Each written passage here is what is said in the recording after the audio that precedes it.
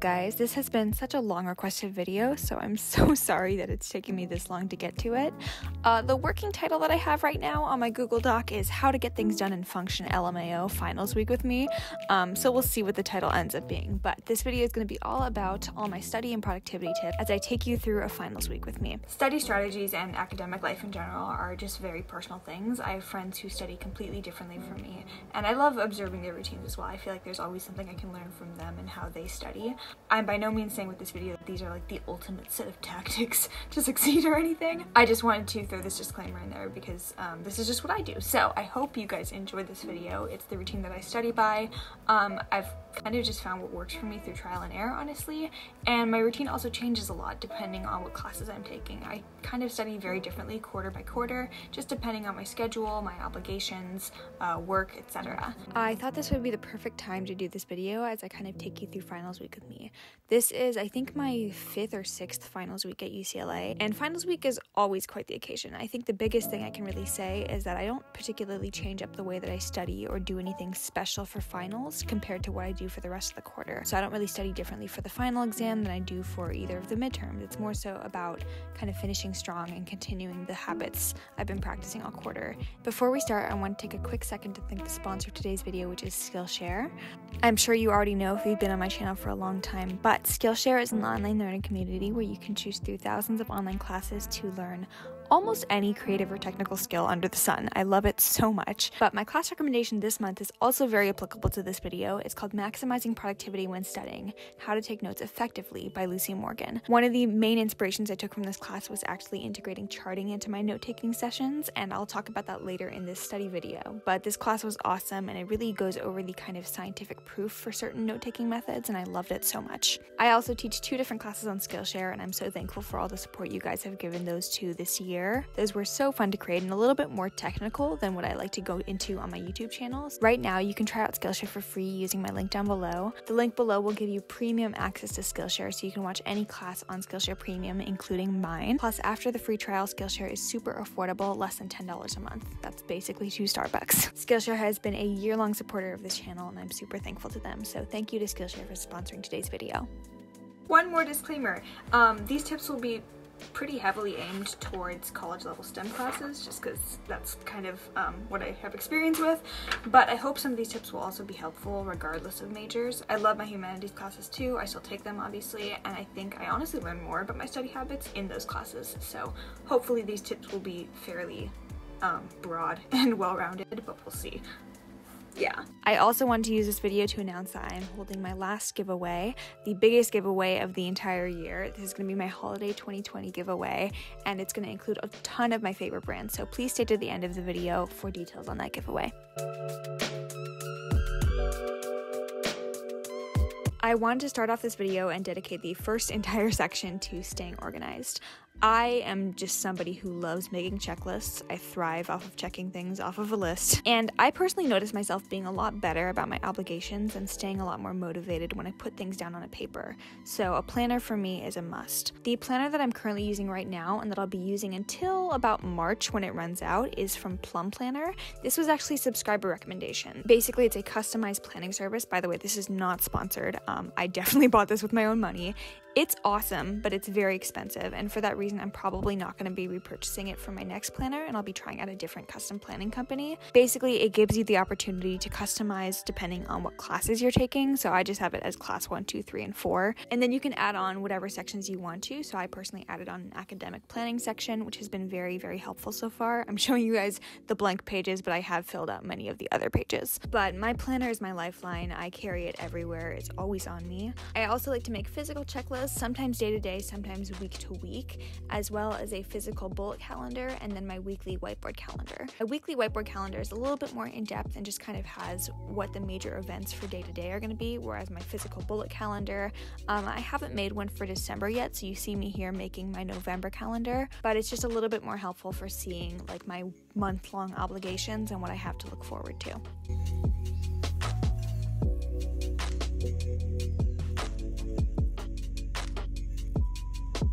Notes. This is probably going to be the chunkiest part of the video because I have a lot to say here. Probably my main method of studying and learning for classes is by taking notes for the first time. There's a big debate over whether handwritten or typed notes is best. For me, the answer is both, and the number one thing that I prioritize when I'm writing my notes is maximizing my time.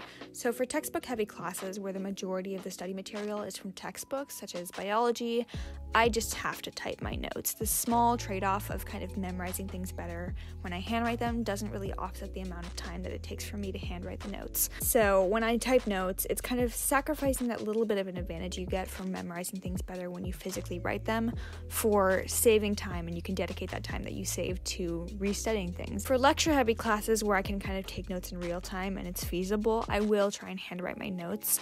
I do find that this is best for like humanities type courses or anything where the lectures are pretty well paced and the slides aren't too wordy. I try and write down like everything that my professor says that sounds important to a T because you never really know what's going to be on an exam. And then for conceptual classes where the majority of the material is presented by problem solving, like math or organic chemistry, I tend to handwrite my notes and I don't really write words so much as just problems done in class with very detailed solving mechanisms. I try and make sure that I write down any problem that I've solved and I know is right so that I can figure out how to solve later problems that are similar just by kind of looking at what I did in class and seeing, oh yeah, this answer is right, so I know that the kind of work that I did was right. As for my tips of making the most out of your notes, number one, I think the most important thing is really taking the one and done approach.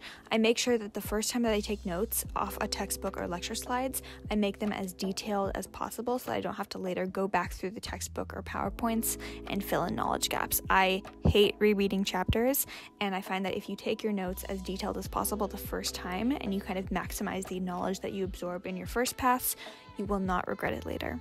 Number two is really just paying active attention when taking notes. And I think it's really easy to kind of doze off and not pay a lot of attention and just kind of type, especially when I'm doing type notes. So if that means taking breaks to keep myself attentive, so be it. For Bio 1, 2, and 3, I've had to take about 6 hours of notes per week, and that's a lot of work. So here I'm showing you all my notes for the entire quarter, and that's just one quarter of Bio. With that amount of notes, it would be kind of ridiculous for me to expect myself to not take any breaks or to be actively paying attention for that whole chunk of time. I have TikTok on my phone. That is very distracting. So I make sure to take breaks, and we'll get to that in a second when I talk about Pomodoro. My third tip is just to kind of um, I guess be smart while taking notes and don't just write down everything. Write notes that are functional and make sense to you and you alone because they're yours. You don't have to worry about making them pretty. If you do find that taking pretty notes helps you learn, I have a friend who takes beautiful bullet journal notes because they help her feel more engaged while she's taking them, and I love that. But for me, that doesn't work out. So don't feel pressured to make them pretty if you don't find that that helps you. Your notes can really be your biggest asset that's particularly tailored to you because you're the one taking them. Next, I'm going to talk about studying, and I think this was probably the biggest learning curve for me when I started college.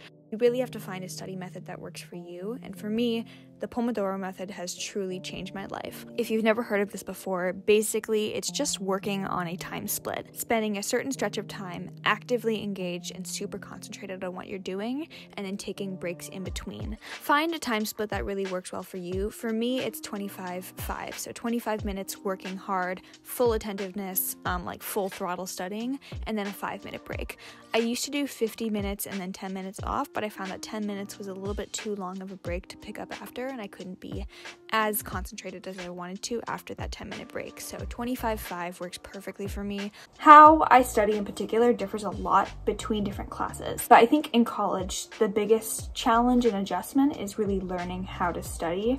Um, personally, for me, coming from high school, I thought I knew how to study, but I didn't really. And I realized after high school, I didn't know how to study in a way that made sense sense for college classes despite taking college classes in high school. In my opinion, a lot of university courses are a lot less busy work than what you get in a high school class, but the work that you do get is harder. So I think it's an environment that's a little bit more conducive to procrastination, which can be a really big obstacle because the work is just much more mentally taxing, so you just don't want to do it.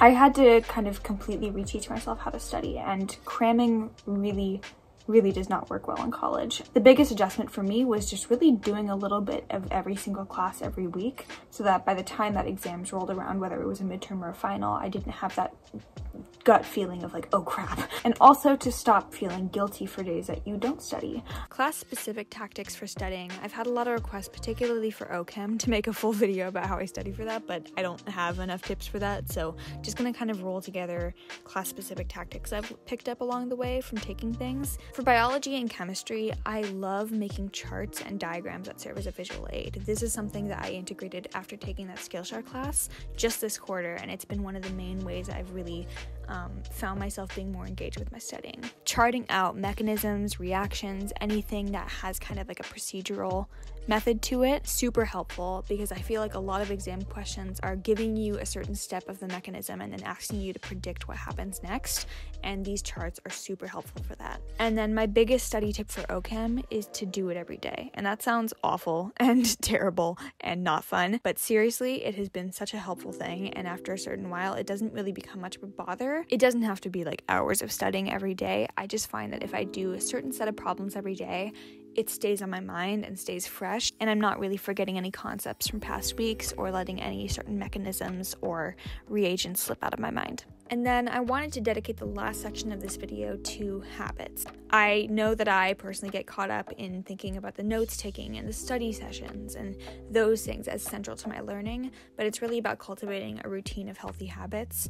And with that, means taking a lot of breaks. I find that my style of staying productive and what productivity looks like for me is kind of switching up my activity often, but they're all things I need to be doing. So, for example, if I find that my mind is just going numb and hurting after three hours, of Pomodoro studying for a class, I'll either switch to another class. So I'm kind of focusing my mind on different material, still kind of doing something I need to be doing, but it's not the same stuff I've been doing for a bunch of hours or switching to another thing altogether. So, for example, writing a research paper or doing journaling or even going downstairs and doing some meal prep because that's something I need to be doing. It's on my to do list, but it's not as mentally taxing. Sleeping every night is also non negotiable. I've never pulled an all nighter before in college. I did once in high school and I really found that it didn't do anything for me. Um, yes, I was still awake, so technically that was time that I had to study, but I didn't learn a single thing that night all nighters, in my opinion, give you extra time in the day, give you those extra hours in the day that you need, but they're not productive hours and you're not going to learn anything. It's better to just get some sleep and come back refreshed than waste a bunch of hours not really learning at your best capacity eight hours is a little bit unattainable for most college students, so I try and shoot for six every night. If I can get eight hours, awesome, but don't guilt yourself over how little sleep you're getting as long as you're getting sleep. Speaking of guilt, taking breaks and not guilting myself for it, and this was a huge step. I feel like I'm very toxic with my image of what productivity can be sometimes, but the more time you waste kind of feeling guilty about taking a break that you probably really needed is just that it's wasted time. Make time for the things that matter, and if you need to, schedule schedule in time for yourself into your schedule. So, for example, I love working out. I feel kind of cloudy headed if I don't get a good sweat in every now and then. So, I try and make time for it. On days I know I'm going to be busy, I make sure to put into my schedule about an hour and a half every day for some gym time. I did this while I was living on campus too, and it was super helpful because I would have my little break to look forward to in the night. I've started going to therapy as well, which used to feel like a time drain. I was worried about how I would kind of work that into my schedule when I already had a bunch of other things going on. It has been an integral part in keeping me sane and keeping me motivated and keeping me honestly alive. So make time for the things that matter to you, is what I'm saying. And then the final habit is just taking care of yourself, even when you feel like you've got a lot on your plate. Hydration, eating well and eating often, and preparing for your days. All right, and that is it for this video. I am so sorry that it's taking me so long to get this together, but I wrote out a whole script for this one. I took notes on what I wanted to say. good luck to everybody taking finals right now. Um, good luck to future Julia taking finals right now. But for those of you who stuck to the end of the video for the giveaway, here it is. You waited long enough. This is my holiday 2020 giveaway, and I'm super excited about this one. It's also going to be my last giveaway. In it, we have a lot of things from some of my favorite brands, particularly indie brands. I wanted to shout out some of my favorites. We've got some Noblet in there, we've got a lot of ColourPop, we've got a little bit of Ana Luisa jewelry, a little bit of everything. The link to enter the giveaway will be down below. I did want to clarify something. This was a question that came up with my last giveaway. On some giveaways, especially when I'm doing a video with Skillshare, I also have an opportunity opportunity in the giveaway entry area to get five extra entries if you support my link with Skillshare for the month. This is by no means a required entry, it's just an opportunity to get five extra entries, but you can get a free entry if you are subscribed to the channel. So there's an option for that. Don't fill out the Skillshare one if you don't want to. Anyways, I hope you guys enjoyed this video. Thank you again to Skillshare, and thank you so much to you guys. Good luck on finals, and Godspeed. I'll see you again soon. you made it to the very end of this video, you get the bonus meme. Stay smart. Bye.